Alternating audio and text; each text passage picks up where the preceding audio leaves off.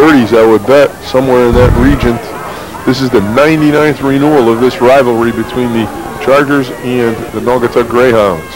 First and 10 for Naugatuck. That's Green. He'll go in motion.